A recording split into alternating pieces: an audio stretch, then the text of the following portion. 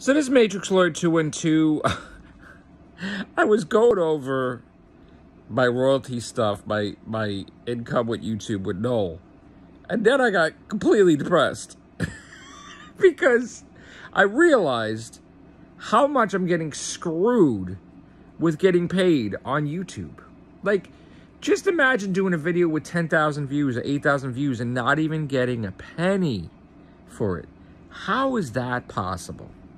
Something is wrong there. So I need whoever are my friends that are like making money on YouTube, monetization, whatever.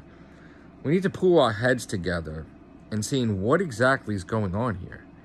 Like, how is it a video could generate 10,000 views or 8,000 views, not give you a penny, but then a video could generate way less than that like less than a thousand and gain you like four dollars or something. Like, what the hell is happening? What's happening?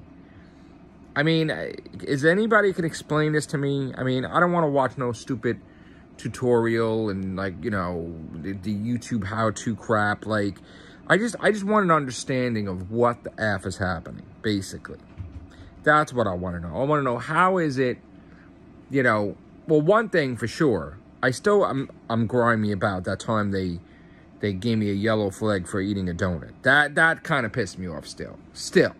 But the other day I made like so many videos and they yellow flagged a lot of them. And on Twitter I kept showing every time that they released the video like it's okay, but is it really okay? Because do they stop you from making money anyway, even though they release the yellow flag?